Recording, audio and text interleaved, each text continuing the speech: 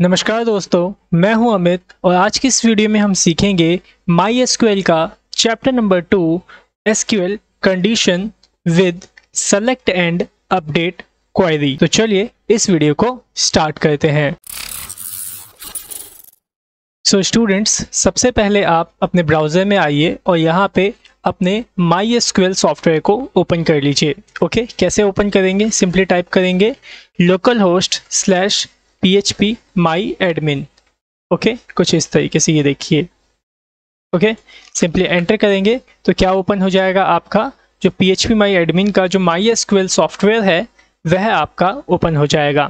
Okay अब इस software को हम कंट्रोल कैसे करेंगे? इस सॉफ्टवेयर को हम कंट्रोल करेंगे आपकी एसक्यूएल लैंग्वेज के माध्यम से। ओके तो चलिए, आपको याद होगा कि लास्ट क्लास के अंदर आपने क्या क्या सीखा था? आपने लास्ट क्लास में सीखा था डेटाबेस क्रिएट करना डेटाबेस डिलीट करना डेटाबेस के अंदर टेबल को बनाना और टेबल के अंदर डेटा को इंसर्ट करना, ठीक है? तो सबसे पहले हम इस चीज़ को रिवीजन करेंगे, फिर उसके बाद आगे का चैप्टर को कंटेन करेंगे, ओके? तो चलिए, सबसे पहले मैं यहाँ पे क्या करता हूँ? डेटाबेस क्रिएट कर लेता हूँ, ओके?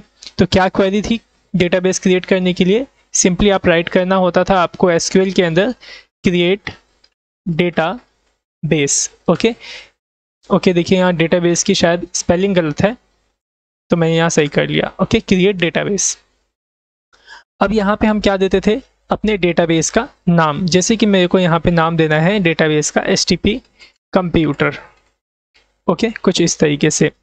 तो यहाँ पे देखिए, क्या ये जो मैंने नाम दिया है, क्या ये सही फॉर्मेट में नाम है? नहीं। क्योंकि जब आप डेटाबेस का नाम देते हैं तो उसके बीच में कोई स्पेस नहीं होना चाहिए और ना ही कोई हाइफन होना चाहिए। हाँ अगर आप इसको रिमूव कर देंगे तो ये एकदम परफेक्ट आपका सही हो जाएगा, ठीक है? तो आप याद रखिएगा, जो भी डेटाबेस का आप नाम रखें, उसमें कोई भी स्पेस और हाइफन नहीं होना चाहिए। आप चाहें तो यहाँ पे इनके बीच में अंडर स्कोर को पास आउट कर सकते हैं इस तरीके से। ठीक है? तो मैं इसी को इतना पास कर देता हूँ एस कंप्यूटर और उसके बाद लास्ट में आपको इसे टर्मिनेट कर लेना होता है सेमी से। उसके बाद सिंपली आप गो पे क्लिक कर लीजिए या फिर कंट्रोल के साथ एंटर बटन प्रेस कर लेंगे तो भी ये आपका सबमिट हो जाएगा या फिर गो पे क्लिक हो जाएगा। ओके मैं क्लिक करता हूँ। तो देखिए यहाँ पे एसटीपी कंप्यूटर के नाम का जो डेटाबेस है, वो क्रिएट हो चुका है। ओके सिंपली इस पर क्लिक करके इसको सेलेक्ट कर लीजिए। उसके बाद वापस से आ जाइए एस में। और यहाँ देखिए, अब आपका जो डेटाबेस है एसटीपी कंप्यूटर वो यहाँ पे सेलेक्ट हो गया। अब हम क्या करेंगे? इस डेटाबेस को अगर आपको डिलीट करना है तो सिंपली आप यहाँ पे राइट कर सकते हैं ड्रॉप डेटाबेस कुछ इस तरीके से। ड्रॉप यहाँ पे जो भी आप लिखेंगे ना एसक्यूएल की क्वायरी उसे कैपिटल में लिखिएगा। कुछ इस तरीके से ड्रॉप डेटा बेस ओके इसके बाद आप अपने डेटाबेस का नाम लिख दीजिए। तो मैंने राइट किया S computer. Okay, simply control के साथ एंटर प्रेस कर लीजिए, या फिर ये गो का बटन है, इस पर क्लिक कर लीजिए तो मैं इस पर क्लिक करता हूँ तो देखिए आपका जो डेटाबेस था, वो डिलीट हो गया। ठीक है तो उम्मीद करता हूँ समझ में आ गया होगा कैसे डेटाबेस क्रिएट करेंगे और कैसे डेटाबेस को डिलीट करेंगे। ओके तो चलिए आइए वापस से आप क्वेरी के अंदर यहाँ पे यहाँ पे एसक्यूएल में, और वापस से एक डेटा क्रिएट डेटाबेस क्रिएट करिए और फिर हम उसके अंदर टेबल को क्रिएट करेंगे। ओके तो मैं यहाँ राइट करता हूँ क्रिएट डेटा बेस और उसके बाद एसटीपी कंप्यूटर के नाम से ही मैं अपने डेटाबेस को बना देता हूँ। देखिए एसटीपी कंप्यूटर कंट्रोल साथ एंटर प्रेस करूँगा इस बार में। देखिए, यहाँ पे जो आपका एसटीपी कंप्यूटर का जो डेटाबेस है, वो बन गया। सिंपली इस पर क्लिक करके आप इसे सेलेक्ट कर लीजिए। ओके तो देखिए, अब एस में जाएँगे तो यहाँ पे देखिए आपका जो एसटीपी कंप्यूटर डेटाबेस है, वह आपको सेलेक्टेड मिलेगा। अब इसको सेलेक्ट करने का मतलब ये है कि अब जो भी आप कोड करेंगे, वो इसी डेटाबेस के अंदर ही आपका लागू होगा। जैसे कि अगर मेरे को कोई टेबल बनाना है इसके अंदर तो वो टेबल इसी डेटाबेस में बनेगा। ठीक है? तो चलिए अब सीखते हैं टेबल को कैसे बनाना है। तो जैसे कि आपको याद होगा, मैंने लास्ट वीडियो में बताया था, यहाँ पे जो आप टेबल बनाएँगे और उसके अंदर के जो कॉल्यूम होंगे, उसका डेटा टाइप भी आपको यहाँ पे बताना पड़ता है कि जो आपने कॉल्यूम बनाया है टेबल का, उस कॉल्यूम में आप किस प्रकार का डेटा रखने वाले हैं? तो कैसे बनाते हैं यहाँ पे टेबल? सिंपली क्वारी राइट करेंगे, क्रिएट टेबल, ओके? उसके बाद टेबल का नाम, जैसे मैं दे देता हूँ स्टूडेंट टेबल, ठीक है? स्टूडेंट नाम का मैंने यहाँ पे S T U D E N T student नाम का मैं यहाँ टेबल बना रहा हूँ। उसके बाद आप इस तरीके से पैरेंथिस को ओपन करेंगे और यहाँ टर्मिनेट कर देंगे सेमी कॉलन से। उसके बाद आप इसके अंदर राइट करेंगे क्या? आपके कॉलम का नाम। जैसे कि मेरे को यहाँ पे बनाना है पहले रोल नंबर तो मैं यहाँ रोल अंडर स्कोर नंबर लिखूँगा। और यहाँ पे देखो, यहाँ पे भी आप स्पेस नहीं दे सकते और ना ही आप हाइफन दे सकते हैं। यहाँ पे भी आपको सिर्फ़ अंडर स्कोर ही देना होगा। ठीक है? रोल नंबर मैंने बनाया। और इसके अंदर मैं राइट करता हूँ इसका डेटा टाइप कि जो रोल नंबर होगा, उसका डेटा टाइप क्या होगा? तो सिंपल है, रोल नंबर जो डेटा टाइप होता है, वो होता है इंट इंटीजर क्योंकि नंबर हम इसके अंदर लिखने वाले हैं। उसके बाद ब्रैकेट ओपन ब्रैकेट क्लोज इस तरीके से पैरेंथेसिस को। और उसके बाद आप इसमें क्या डिफाइन करेंगे? आप इसके अंदर अपने रोल नंबर का मैक्सिमम लेंथ डिफाइन करेंगे कि आप कितने डिजिट तक का नंबर इसमें आप टाइप करने वाले हैं। तो मैंने बोला 11 डिजिट तक का नंबर मैं इसमें टाइप करने वाला हूँ। ठीक है? उसके बाद ये पहला कॉल्यूम आपका बन गया। उसके बाद इसे कॉमा से सेपरेट करिए, फिर यहाँ पे दूसरा कॉल्यूम बनाइए। तो मैंने बनाया नेम का, ठीक है? अब नेम क्या है आपका? कैरेक्टर इसमें आप टाइप करेंगे मतलब स्ट्रिंग टाइप करेंगे तो इसका जो डेटा टाइप होगा, वो क्या होगा? वेर कैर ठीक है?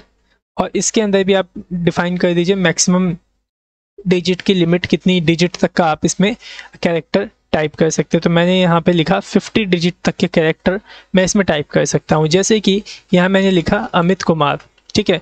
तो इसके अंदर देखिए अमित कुमार में कितने लेटर्स हैं? चार ये हो गए ए स्पेस है एक आपका पाँच, ठीक है? छः, सात, आठ, नौ, दस, ये आपके पूरे टेन कैरेक्टर्स हैं, ठीक है? और यहाँ पे हमने लिमिट कितने दिया है? फिफ्टी तो मतलब ये आसानी से इसके अंदर इंसर्ट हो जाएगा। लेकिन अगर यही मैं पाँच से छः बार यहाँ ऐसे प्रिंट कर दूँ। और इतने सारे डेटा को मैं इसमें अगर डालूँ तो ये इसमें इंसर्ट नहीं होगा, क्योंकि ये 50 से ज़्यादा कैरेक्टर्स हैं। ओके तो उम्मीद करता हूँ समझ में आ गया होगा इसका क्या यूज़ होता है। ठीक है, क्यों इसे सेट करते हैं। ओके तो फ़िलहाल मैं इसे अभी यहाँ पे डिलीट कर देता हूँ। तो यहाँ पे देखिए, हमने टेबल के अंदर दो कॉल्यूम यहाँ पे सेट कर लिए। ठीक है, मैं एक और एक कॉल्यूम यहाँ सेट कर देता हूँ सब्जेक्ट के नाम से। तो मैंने राइट किया सब्जेक्ट ओके? इसका भी मैं वेर क्या डिफाइन कर देता हूँ, क्योंकि इसके अंदर भी आप स्ट्रिंग ही टाइप करने वाले हैं, और इसकी भी जो स्ट्रिंग की मैक्सिमम लेंथ है, वो मैं 50 सेट कर सकता हूँ, ठीक है? और बाकी इसमें मैक्सिमम टू मैक्सिमम आप कितना सेट कर सकते हैं? 255 ओके? बस इतना ही आपको कोड राइट करना है टेबल को क्रिएट करने के लिए। उसके बाद सिंपली आप गो के बटन पर क्लिक कर सकते हैं, या फिर कंट्रोल के साथ एंटर बटन प्रेस कर सकते हैं। तो फ़िलहाल मैं गो पे क्लिक कर देता हूँ। तो मैंने क्लिक किया। तो देखिए यहाँ पे आपके एस कंप्यूटर के अंदर स्टूडेंट नाम का जो टेबल है, वह बन गया है। ठीक है? सो उम्मीद करता हूँ ये अब आपको समझ में आ गया होगा कि टेबल को कैसे बनाना है। ओके तो चलिए, अब हम क्या करते हैं? अपने टेबल में डेटा को इंसर्ट करना सीखते हैं। तो टेबल में डेटा आप कैसे इंसर्ट करेंगे? जरा उसको देखिए। टेबल में डेटा इंसर्ट करना मतलब उसमें एंट्री करना उसको हम इंसर्ट ही बोलते हैं। तो यहाँ पे आप लिखिए सिंपल क्वारी इंसर्ट इनटू मतलब इंसर्ट इनटू किसमें इंसर्ट करना है आपको? किस टेबल में? तो यहाँ पे आप टेबल का नाम देंगे। तो मैंने बोला स्टूडेंट टेबल में मेरे को डेटा इंसर्ट करना है। ठीक है? तो यहाँ पे ब्रैकेट ओपन कर लो इस तरीके से, फिर एंटर करो और यहाँ पे वैल्यू इस तरीके से राइट करो। वैल्यूज़ और यहाँ पे ब्रैकेट ओपन करो। और इस तरीके से यहाँ पे टर्मिनेट करो। तो इस तरीके से आपको लिखना है। उसके बाद इसके अंदर, इस पैरेंथिस में आप क्या लिखेंगे? अपने टेबल के कॉल्यूम का नाम। ठीक है? इसके अंदर टेबल के कॉल्यूम का नाम लिखेंगे। जैसे कि देखो, अभी हमारे पास टेबल के कॉल्यूम का नाम क्या है? इसमें स्टूडेंट में पहला रोल नंबर दूसरा नेम और तीसरा सब्जेक्ट तो मैं यहाँ पे लिख दूँगा रोल नंबर फिर कॉमा फिर नेम कॉमा उसके बाद सब्जेक्ट ठीक है? कुछ इस तरीके से। तो यहाँ पे आप क्या लिखेंगे? टेबल के पैरेंथिस के अंदर यहाँ आप उसका कॉल्यूम का नाम लिखेंगे। फिर उसके बाद इसकी वैल्यू आप यहाँ पे लिखेंगे वैल्यूज़ के अंदर। ठीक है? वैल्यूज़ फ़ंक्शन में। तो रोल नंबर में यहाँ वन टाइप कर देता हूँ। नेम टाइप कर देता हूँ। अमित कुमार, कुछ इस तरीके से। और जो अमित कुमार आपने टाइप किया है ना, आप इसको डुअल कोड से लॉक करके यहाँ पे रखेंगे, क्योंकि ये एक स्ट्रिंग है। ओके उसके बाद आपका सब्जेक्ट है। मैं सब्जेक्ट टाइप कर देता हूँ इंग्लिश सिंपल बहुत ही ईजी है। देखो, कैसे हमने लिखा? इंसर्ट इनटू स्टूडेंट मतलब हमें स्टूडेंट के अंदर डेटा इंसर्ट करना है किस कॉल्यूम में? इन तीनों कॉल्यूम में और इन तीनों कॉल्यूम की वैल्यू क्या बनेगी? यह तीनों वैल्यू बनेगी इन तीनों कॉल्यूम की। ठीक है?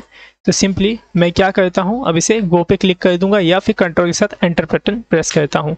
तो देखिए जो अभी हमने क्वारी लिखी थी, वो स्टूडेंट टेबल के अंदर इंसर्ट हो गई। स्टूडेंट पे आप क्लिक करिए ज़रा एक बार तो यहाँ पे देखिए आ गया रोल नंबर में वन नेम में अमित कुमार सब्जेक्ट में इंग्लिश ठीक है? तो उम्मीद करता हूँ समझ में आ गया होगा कि किस तरीके से आप इसे देखेंगे और किस तरीके से आप इसे इंसर्ट करेंगे ओके तो इतना तो आई थिंक उम्मीद करता हूँ समझ में आ गया होगा। तो चलिए अब देखते हैं कि किस तरीके से आप अपने डेटा को देख पाएँगे। ठीक है, जैसे कि अभी हमने यहाँ पे क्लिक करके देखा, लेकिन अगर हमें एस के माध्यम से ही देखना है अपने डेटा को तो आप कैसे देखेंगे? तो उसके लिए एक क्वेरी होती है, जिसका नाम होता है सेलेक्ट सेलेक्ट के बाद आपको यहाँ पे लिखना होता है अपने कॉलम का नाम, ठीक है? कि आप किस कॉलम को देखना चाहते हैं? मतलब आप अपने टेबल में से किस कॉल्यूम के डेटा को देखना चाहते हैं? तो मैंने बोला मेरे को नेम कॉल्यूम का डेटा देखना है। ठीक है तो आप यहाँ पे सेलेक्ट कर लो नेम को, ठीक है, और पूछेगा, किस टेबल में से आप नेम को देखना चाहते हैं? तो यहाँ पे आप लिखिए फ्रॉम को, और यहाँ पे टेबल का नाम। तो मैंने लिखा टेबल का नाम स्टूडेंट ठीक है तो सिंपली देखो यहाँ पे लिखा हुआ है क्या? Select name column from student table ठीक है, समझ में आया? यहाँ पे मैंने क्या लिखा? यहाँ पे मैंने नेम वाले कॉल्यूम को सेलेक्ट किया है कहाँ से? स्टूडेंट के टेबल से। बस इतना ही आपको लिखना है। सेलेक्ट नेम फ्रॉम स्टूडेंट इतना लिखने के बाद इस तरीके से टर्मिनेट करिए और गो पे क्लिक करिए। तो देखिए मैं यहाँ गो पे क्लिक करता हूँ। तो देखिए यहाँ पे नीचे देखिए नेम आ गया आपका। नेम में जो डेटा था, अमित कुमार, वो आपको दिख गया। ठीक है?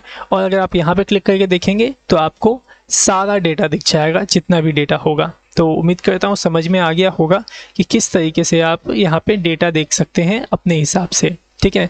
अगर देखो मैं स्टूडेंट पे क्लिक करता हूँ तो देखो यहाँ पे रोल नंबर भी दिखा नेम भी दिखा सब्जेक्ट भी दिखा।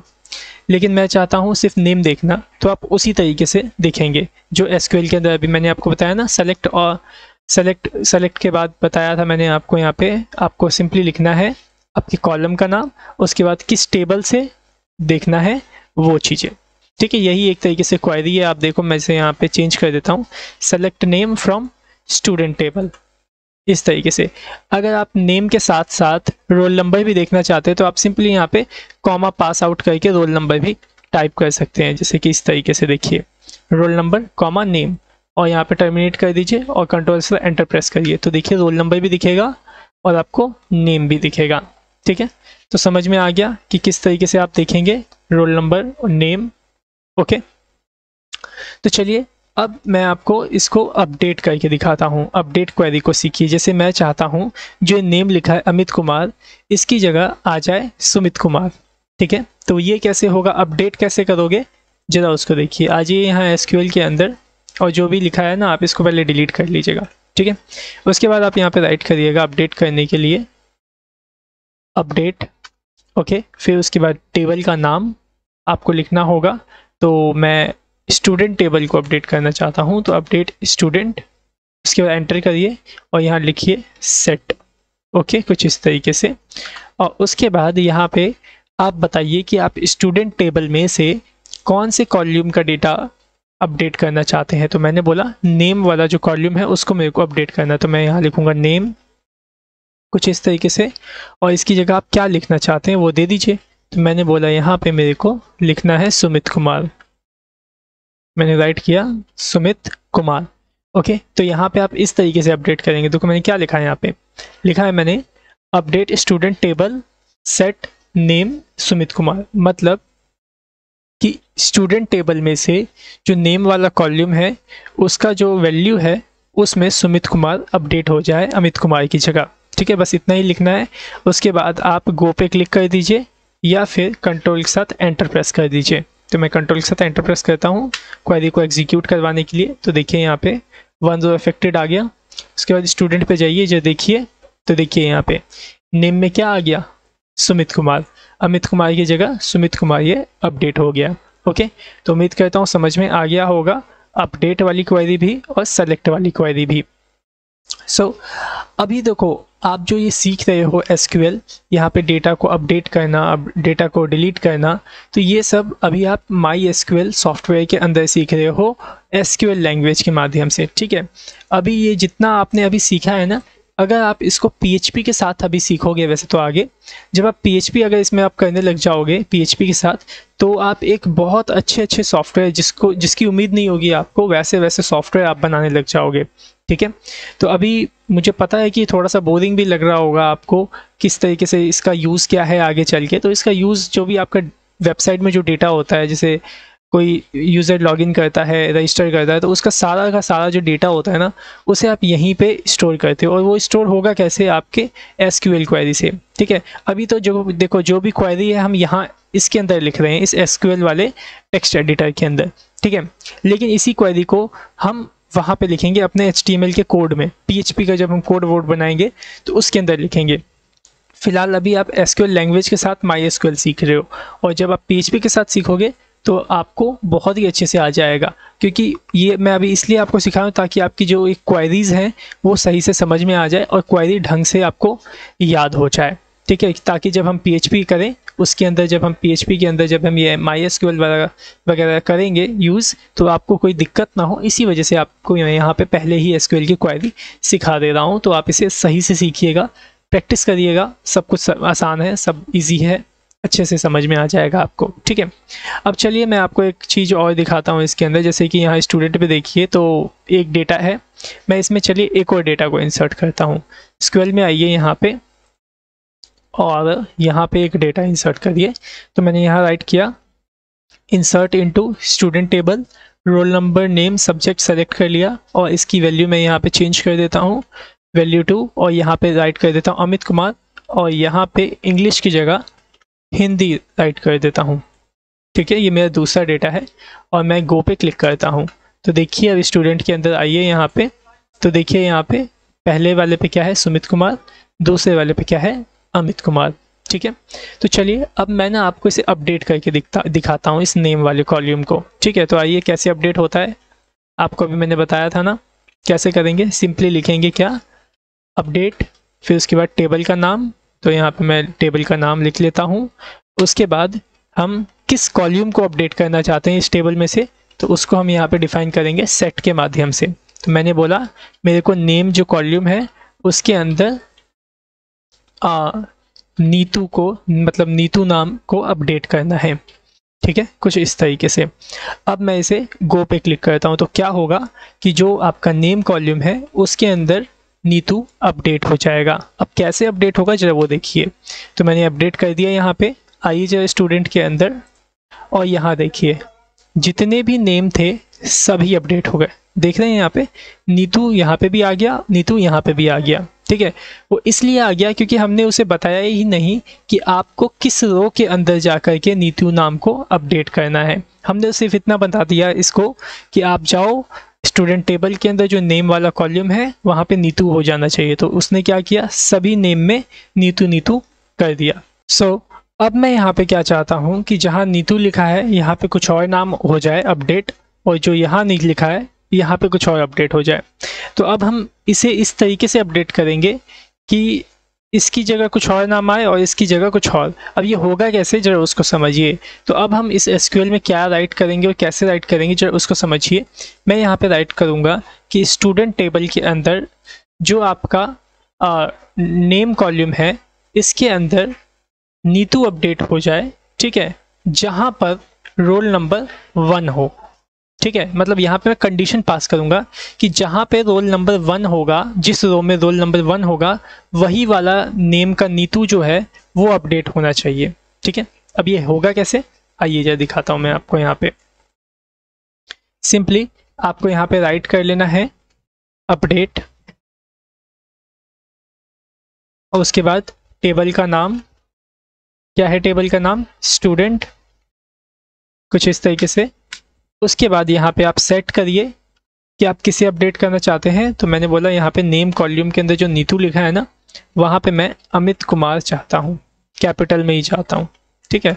कैपिटल में लिखना है कैपिटल में लिखे स्मॉल में लिखना है स्मॉल में लिखें। ठीक है? जब आप डबल कोट्स में लिखते हैं तो कोई प्रॉब्लम नहीं है क्या आप कैपिटल लिखना चाहें तो कैपिटल भी लिख सकते हैं। सो so, इसके बाद हम यहीं पर टर्मिनेट कर देते थे।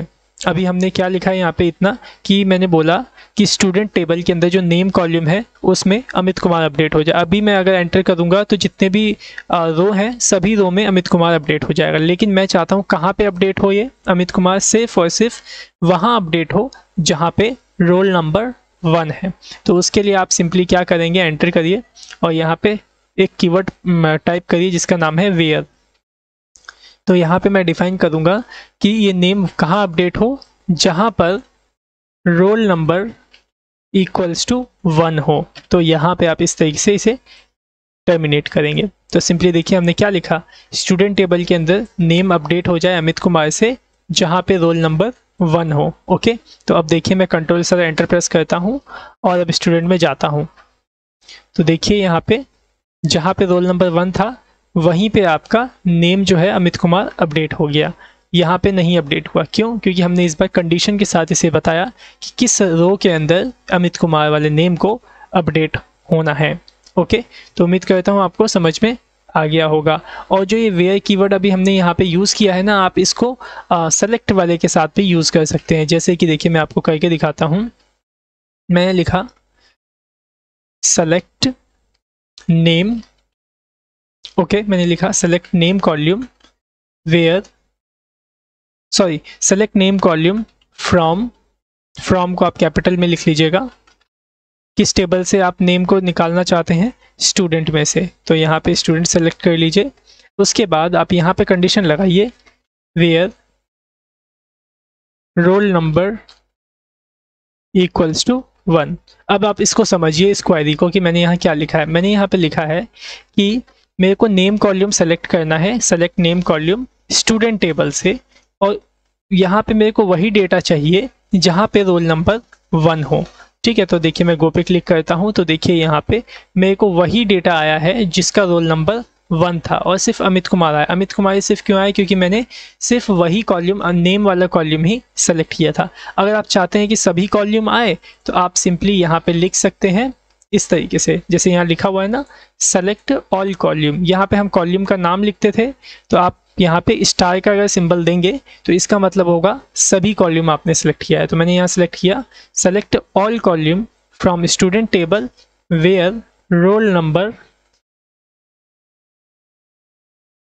equals to one कुछ इस तरीके से। देखिए, ठीक है, ये स्टूडेंट को आप बिना ऐसे ही रखेंगे ओके अब आप एंटर करिए कंट्रोल के साथ एंटर तो देखिए, यहाँ पे आपके सारे कॉल्यूम आ गए। ठीक है? स्टार देने का मतलब सारे कॉल्यूम का डेटा आपको शो करेगा। तो देखिए शो करवाने के लिए आप सेलेक्ट यूज़ करेंगे अपडेट करवाने के लिए आप अपडेट क्वायरी यूज़ करेंगे। ओके सो उम्मीद करता हूँ कि आपको ये चीज़ें समझ में आ गई होंगी। इसकी एक से दो बार आप प्रैक्टिस कर लीजिए, याद कर लीजिए क्वायरी ताकि जब आप पीएचपी सीखें तो आपको कोई भी प्रॉब्लम ना आने पाए। Okay so thanks for watching our premium video have a nice day